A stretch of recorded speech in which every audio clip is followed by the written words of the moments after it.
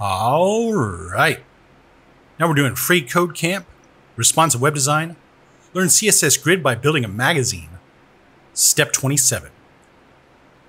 So now we're going to create an HTML selector and give it a font size property set to 62.5%. This is going to set the default font size for our web page to 10 pardon me, 10 pixels instead of 16 pixels by default.